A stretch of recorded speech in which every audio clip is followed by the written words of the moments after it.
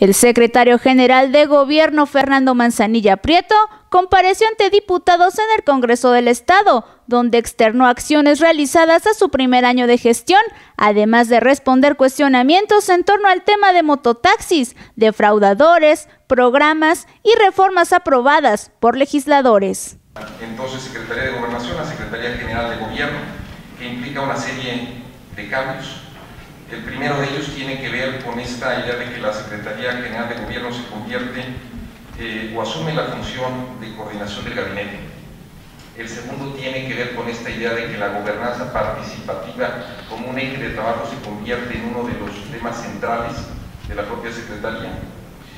Y el tercero, que el promover y el desarrollar una cultura de la legalidad se convierte también en eje 5. Para Telefórmula Puebla informó Diana López Díaz.